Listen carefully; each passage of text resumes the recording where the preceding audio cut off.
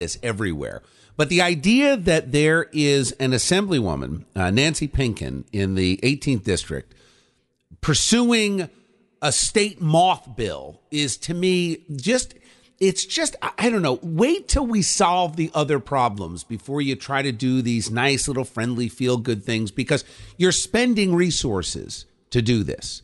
And you know, and so there's a candidate, uh, her name is Synovve Bakke, and she is challenging Assemblywoman Pinkin. Uh, it's an aggressive challenge. And look, it's in a district that is heavily weighted on the Democratic side, as some of the districts are heavily weighted on the Republican side. You know, the, there's been a lot of talk about how the maps are drawn, et cetera. So you don't get a lot of competitive races. Well, it occurs to me that we may actually have a competitive race in the 18th district because Synovve has been under attack by Politico, and in particular, Matt Friedman, who used to write for the Star Ledger, now is writing for uh, Politico's NJ website. And he went after her for some tweets, and she had tweeted something uh, over the course of two years, one tweet out of 30,000, talking about the issue of deporting Muslims from Norway and talking because she's from Norway and how crime went down. And she applied that here in the context of the Syrian refugee crisis. Anyway, you know, the reporters get a hold of a little piece like that and they go to town. So I'm joined by Synovve. Synovve, thank you for joining me on New Jersey 101.5. Appreciate you taking the time this morning. Hi, Bill. Thank you. Thank you for having me on. So let me ask you I read your release and you talked about how uh, Matt just went after you. Can you put it in context? First of all, why do you think they're attacking you so relentlessly? Is this race a lot closer than people think? I'm starting to wonder if they're getting worried about me and my running mate, Teresa Hutchinson. That's what I think, and that's why they're starting to slander us like this. So tell me you know? what. Give me just a couple words. What did mm-hmm. Matt say about you, and what do you what what is your defense? Well, Matt called me up to clarify my tweet.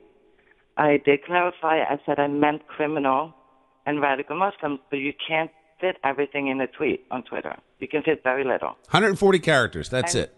Right. So I did clarify to him, and he still ran with the story, and he didn't represent what I said to him. Well, I, I read his article, Synovve. I read his article, and he, um, you know, definitely the you were lumped in with the another candidate in South Jersey in Burlington um, right. for going relentlessly going after the president. And I could make an argument that some of the comments uh, seemed over the top and inappropriate, um, but yours was talking about policy. Right. Now, and that's what I've always been doing. But he found that one and he wanted to make it that I'm a bigot, and I'm not. And everyone who knows me knows I'm not. So and I had Muslim friends, and I've told them that, and still.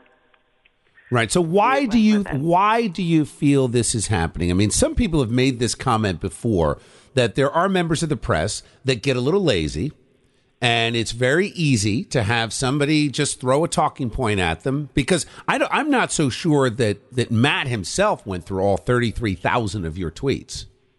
Um, no, I'm not sure how they do that or why they do that. Maybe it could be they're distracting from the fact that they've done nothing in Trenton.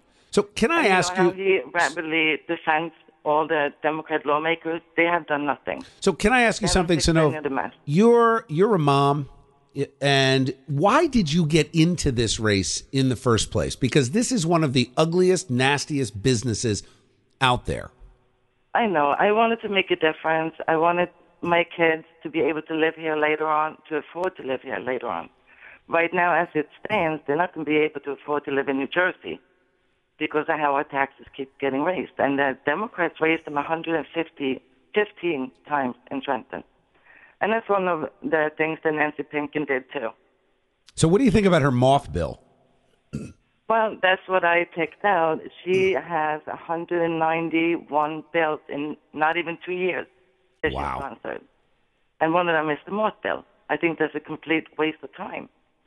We have so many more issues that are more pressing in our state. So, what do you think is the top priority um, for you and your running mate? I mean, you're taking on. Look, it's it's such an uphill battle in an area that is overwhelmingly Democrat. What do you do to appeal to Democrats? Because you could argue that what Matt has done in this article by highlighting the word Muslim and deportation you all of a sudden you're you're kind of put in this corner and there's no way that that's going to appeal to a lot of democratic voters so which is why i wanted you to clarify uh, because i think at least there should be an honest debate out there between where candidates stand so the voters can make an honest choice. How do you appeal to democrats? Because the only way to win in a district like that is to have democrats and do what governor christie did. You appeal across the aisle and bring them over. What we try to do, me and my running mate, we um, we look at the school funding. That's really not good. Sixty percent of our school funding is going out of district, and we tell people about it.